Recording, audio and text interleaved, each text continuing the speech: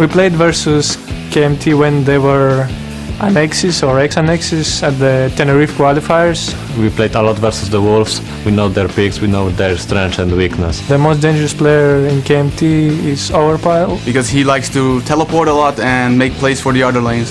Key to the win against Copenhagen Wolves is to just break the protection that they have for Rekkles and just pick some AoE compositions. We have backups plans if we lose the first game, but I think that shouldn't happen since we have focused a lot on the Champions League lately and trying to win the game already there because kind of 20% of the game is already in the Champions League. I think they are under the pressure, like it's one of their last matches with Rekkles.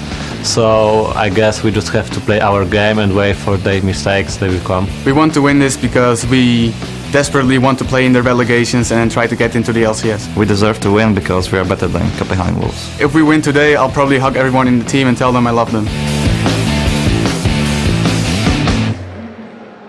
And technically, wouldn't that be a wolf hug?